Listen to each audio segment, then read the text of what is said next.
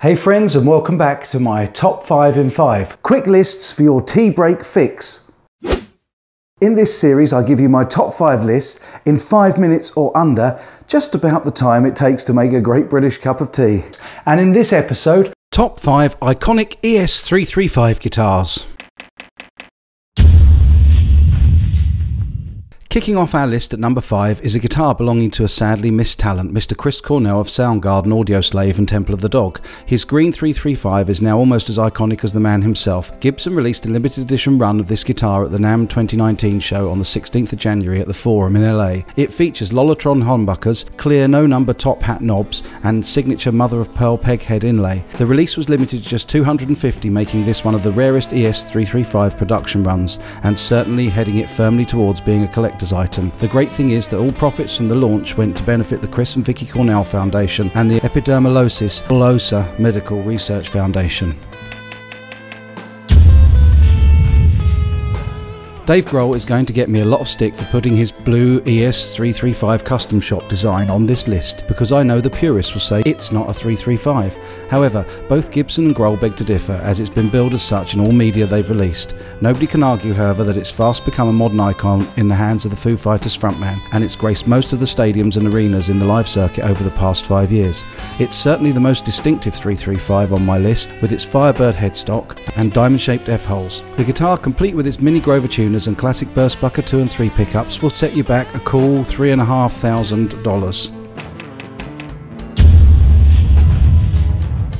At number 3, what list of 335s would be complete without the architect of rock guitar? It is, of course, Chuck Berry's Red ES335. This is the iconic guitar to rock out tunes like Johnny B. Goode, Maybelle, and it was the sixth string that Chuck played right up to his death, aged 90, on March the 18th, 2017. So fond was he of this particular guitar, it was specified in his will that it should be buried with him, and in accordance with his instructions, it was fitted right into the lid of the coffin. A nice touch, Chuck. Rest in peace, you legend. Eric Clapton has more regularly been associated with his Strat and SG guitars, such as the Fool, and this is one of the reasons why he misses out on my top spot. He played his 1964 Cherry Red Gibson ES335 heavily in his early career in the Yardbirds. I have to include it now, however, as it was the first that came to mind when I was thinking of my list. It became known as the Cream guitar because one of his roadies painted the word in large letters on the case. After using it throughout his career, the guitar was eventually sold at auction in 2004 when Guitar Center paid a staggering 847 $7,500 for it. On August 1st, 2005, Gibson Custom, in conjunction with Eric Clapton and the Guitar Center, released a worldwide limited edition of 250 replica guitars. The Eric Clapton Crossroads ES335 is a detailed reproduction of the Cherry Red ES335 once owned by Eric. It was issued with a replica of the famous cream guitar case, a label signed by Eric Clapton inside the body, and a certificate of authenticity. A portion of the proceeds from each sale went to the Crossroads Center at Antigua. Honourable mentions must go to Gary Moore, Paul Weller, Alvin Lee, Noel Gallagher, Joan Jett, Eric Johnson, and Warren Haynes, although I'm sure you can probably name another 50 more famous ES335 guitars out there. I look forward as always to hearing your suggestions and what I've missed.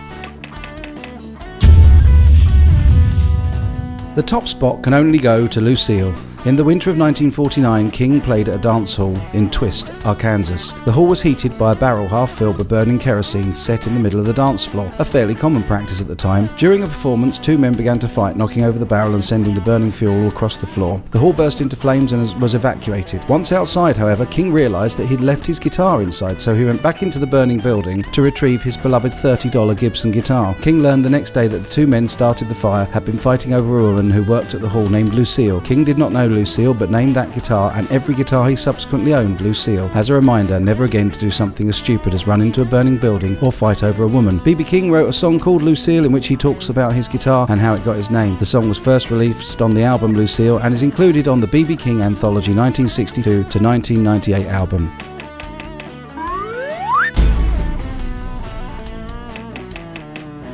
So there is my list. Did I include your favourite ES335 guitars? If not, please be sure to let me know in the comments section below as I love to read your additions. It's great when you expose me to new players and their guitars that I'd not previously been aware of, or like the Eric Clapton Fool SG that I missed off my list of iconic SGs. I love to be reminded that I'm only mortal like everyone else. Please don't forget to give this video a thumbs up if you liked it, and if you haven't already it can't hurt subscribe and click that bell icon to be informed when my next top 5 list is released. That will be really soon, but in the meantime folks, as always, take good care.